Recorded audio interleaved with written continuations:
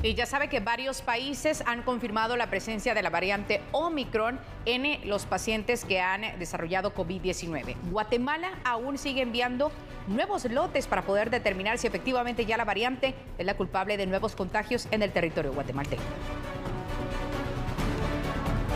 90 pruebas COVID-19 positivas tomadas entre el 2 y el 25 de diciembre que cumplieron ciertos criterios epidemiológicos salieron del país rumbo a un laboratorio en Panamá para su respectivo análisis y determinar si en este periodo de tiempo se detectó algún caso de la variante Omicron en el territorio nacional más de 90 muestras al Instituto Conmemorativo Gorjas de Panamá, donde se secuenciará y esperamos resultados en unos 15 días aproximadamente. Debo recordarnos que el proceso de secuenciación es, largo, más el tiempo de envío, entonces el tiempo aproximado de resultados, de esperar resultados son unos 15 días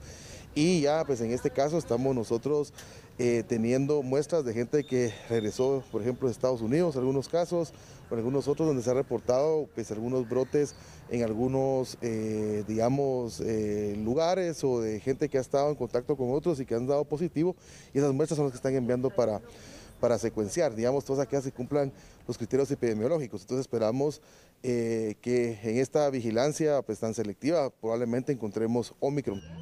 Los resultados llegarán a Guatemala durante la segunda semana de enero, mientras las autoridades recomiendan endurecer las medidas de precaución, principalmente a quienes viajaron a países como Estados Unidos, donde la prevalencia de la variante es del 60%. Sin embargo, sí tenemos, pues por eh, los criterios que utilizamos, sospecha de gente que ha regresado de viajes, o sí tenemos muestras de gente que ha regresado de viaje de Estados Unidos, por ejemplo,